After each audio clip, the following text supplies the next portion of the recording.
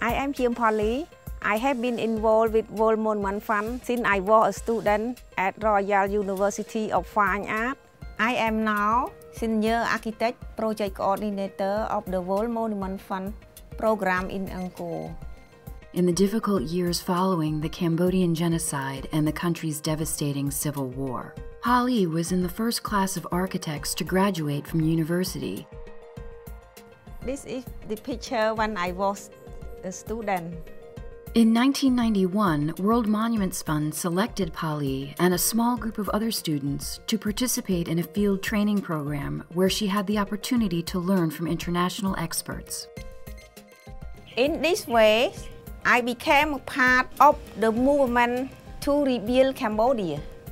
Her contributions have been integral to the project at Angkor since World Monuments Fund began conservation work at this historic site. Since 2004, with the assistance of the U.S. State Department, we are committed to stabilizing Phnom Bakheng, one of the oldest temples in Angkor Park. In addition to managing the current project at Phnom Bakheng, Polly trains other Cambodians in the art and science of conservation, ensuring subsequent generations' commitment to Angkor and the preservation of the culture embodied here.